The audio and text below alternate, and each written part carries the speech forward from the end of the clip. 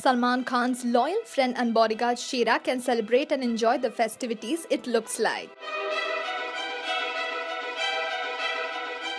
Some days back, it was reported that Shera had got into a heated argument which later became physical with Shera holding a man at gunpoint and breaking his collarbone. Shera was detained by the DN Nagar police station and booked under IPC 326, 503 and 504. But in a major development in the assault case, the Bandra police station investigating the case concluded that the complaint registered by victim Attar Umar Qureshi is fake and an attempt to blackmail Shera. During the questioning, Qureshi admitted that he had a verbal argument with Shera on the phone and planned on beating him up and then file a complaint to spoil his image.